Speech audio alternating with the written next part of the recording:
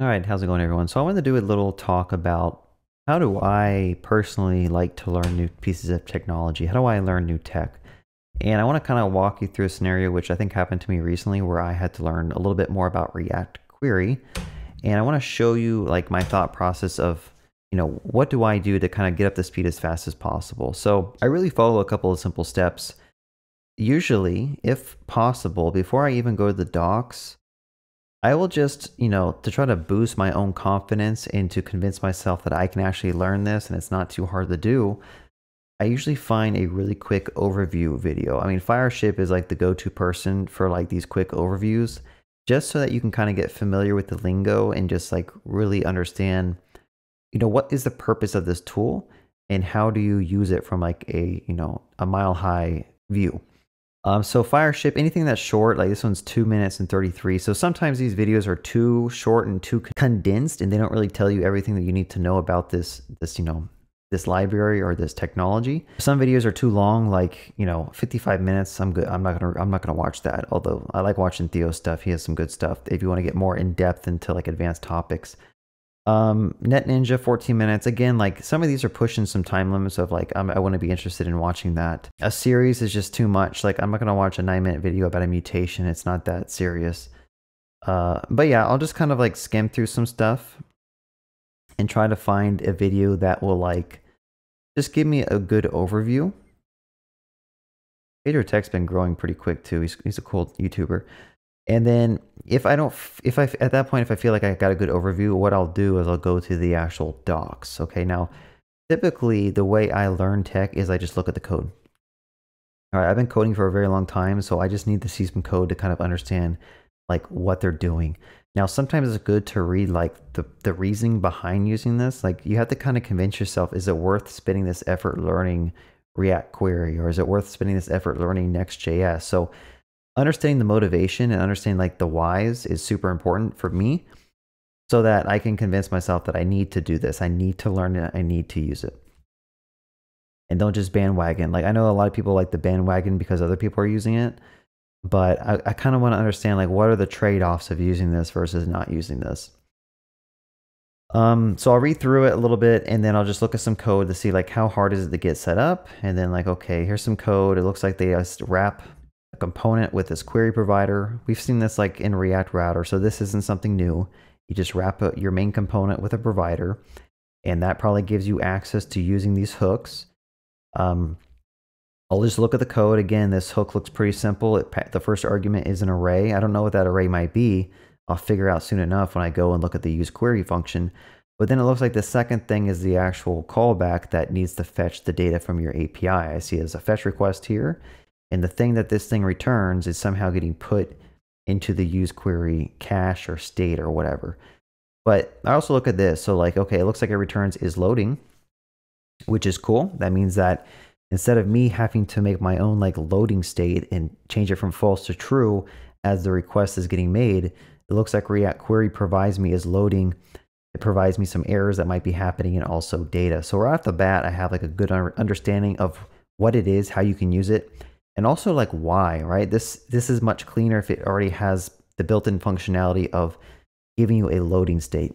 At that point, like I usually just start a project, so I'll follow the Ghost Get Started guide, I'll install it, I'll run through it, make sure I can actually get it running locally, uh, don't run into is any issues.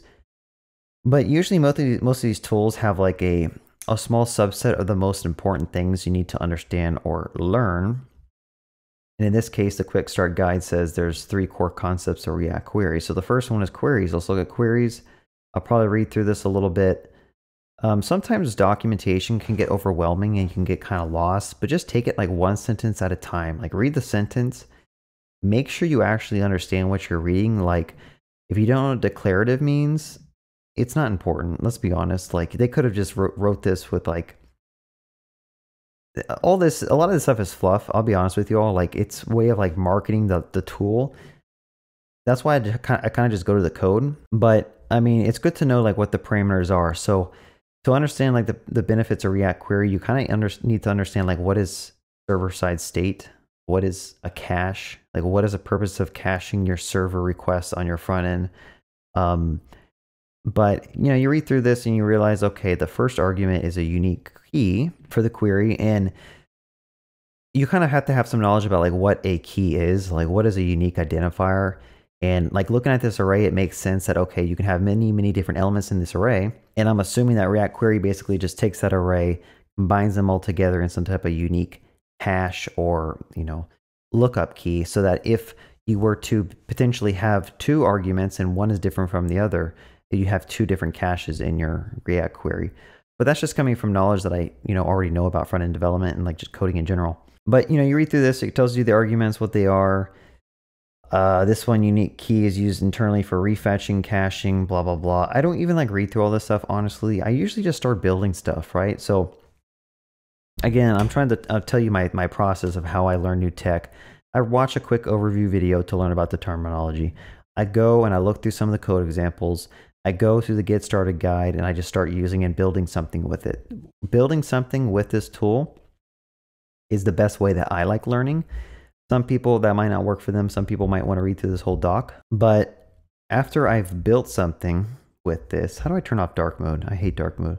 But after I kind of build something with this, I will then go back and once I've learned the core concepts, I'll go through and just see like what else does this library provide me? Like what more can I learn about query keys? So once I've built like an actual small scale project with the React query and I feel more comfortable about like what the purpose of it and why we use it and how to use it, I usually try to go through and just read through the docs, you know, maybe a, a page at a time, just so that I can learn new things about this tech and really make sure I'm not like doing something uh, unperformant on my projects and make sure I'm like, you know, fully utilizing the, the features that they provide me. I think one thing that happens is you don't truly read the docs, you start implementing your own stuff that might already be solved in the library or framework that you're using. Or you might be doing something that's very, very bad practice and they have a better best practices guide that you should read, right? So some of the stuff I don't even know, like infinite queries, I haven't read this page yet. I don't know.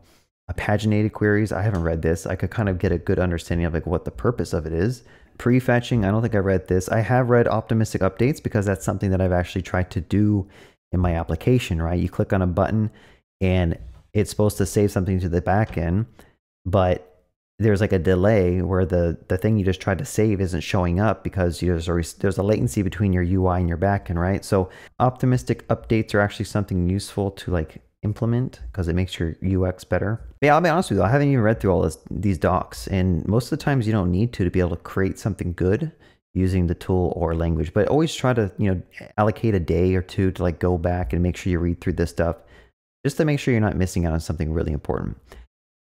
Um, yeah, I don't know if this video is good, but you know, give me a thumbs up if you liked hearing the way I like to learn how to learn new tech, and you know, feel free to leave a comment below if you have a better way or a way that you like to do. Uh, also, join my Discord if you want to talk to me directly or ask any of my other uh, members in the community a question about coding or if you're stuck on something or if you need some help debugging. Anyway, have a good day and happy coding.